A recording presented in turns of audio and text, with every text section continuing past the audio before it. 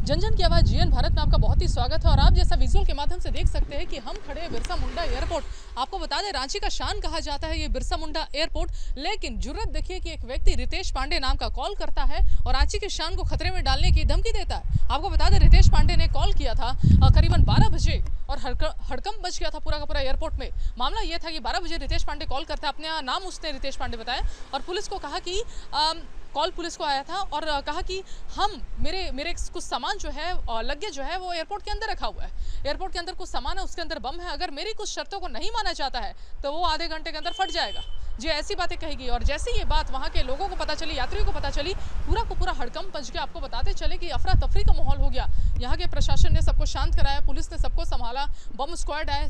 जब सारा छानबीन कर लिया तो ये पता चलता है कि ये सिर्फ़ एक अफवाह था, बल्कि यहाँ पे तो बम है ही नहीं, ऐसा कोई सामान नहीं है। तो और साथ ही यहाँ के निदेशक से हमने बात की तो उन्होंने साफ़ तौर पर कहा कि हाँ ऐसा फ़ोन आया था। लेकिन हमने अपने तरफ़ से पूरा चाक चौबंद करके रखा है और ये महज एक अफवाह है, किसी ने बेवकूफ़ बनाने का काम किया है। लेकिन हम डरने वाले नहीं हैं, बल्कि हमने अपने सुरक्षा को और ज़्यादा बढ़ा दिया है। आपको बता दें कि बिरसा मुंडा एयरपोर्ट बहुत ही वीआईपी एयरपोर्ट है।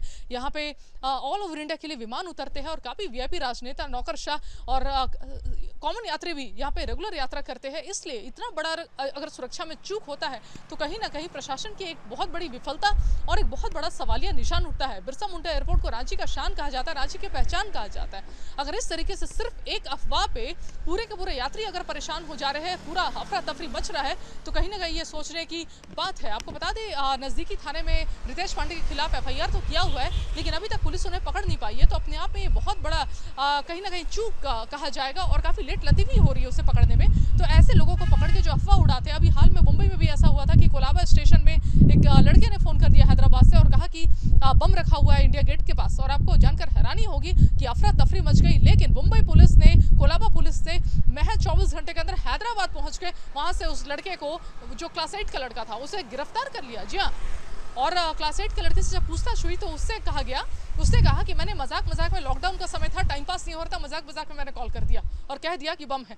आपको बता दें, भले ये मज़ाक मज़ाक में हो, लेकिन कहीं ना कहीं ये बहुत प्रशासन पे बहुत बड़ा सवालिया निशान और उस बच्चे को समझा के छोड़ा गया। और ऐसी घटना बहुत कम हो रही है मुंबई में।